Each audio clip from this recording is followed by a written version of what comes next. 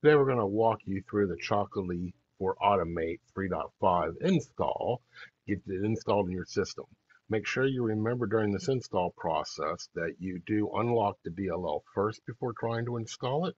And then afterwards, make sure to restart the database agent, completely log out of your control center and back into your control center uh, before attempting to operate the plugin. This way, everything gets loaded up correctly and the system is ready for the plugin to be used.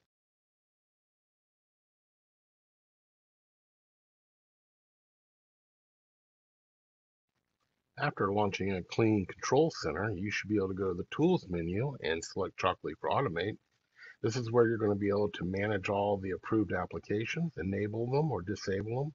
You're able to add new ones or delete applications that are already here.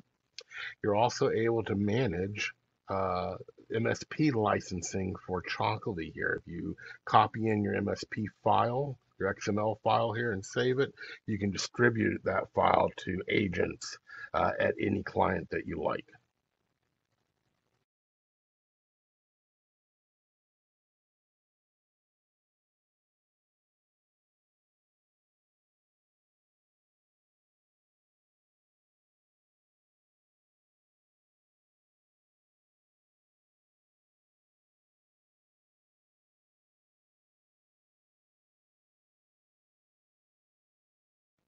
Our next task is to launch a client and enable either the workstations or servers or both from a client.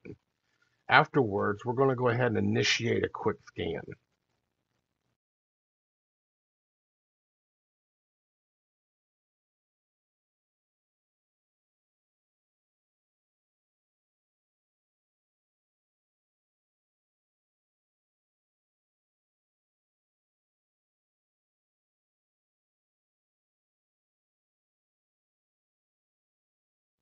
Chocolatey for Automate uses a caching service uh, as a means to prevent the uh, lockouts and blocks that you would receive from excessive usage of any particular community repo from one location by setting a caching agent, you're giving control of, of, of all the communications to the repo from that one particular agent.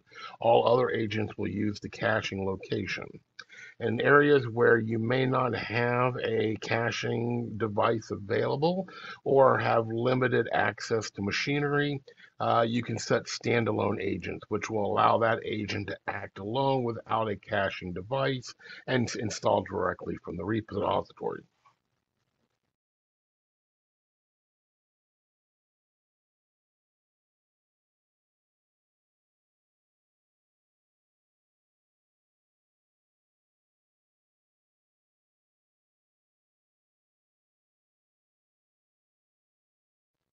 Within Chocolatey for Automate, you can schedule each client for a particular update schedule individually. This will allow you to control how often the updates are handled for individual agents for underneath that client. You're also able to use the installed softwares window to help jumpstart a new package by clicking on that, adding it to repo. It'll predefine the package for you in the app search area.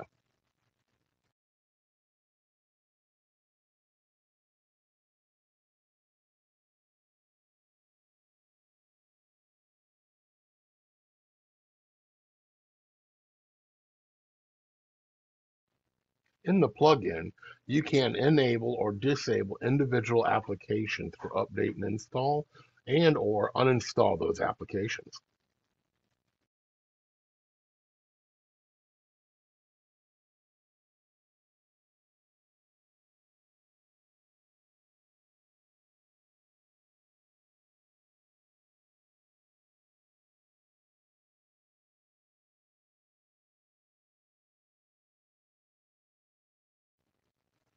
Within Chocolatey for Automate at the client level, you can select an agent and install applications from either cache, as you see here, as well as we can go in and select to install uh, applications directly from the repo live as you watch it and get the response back in your terminal window.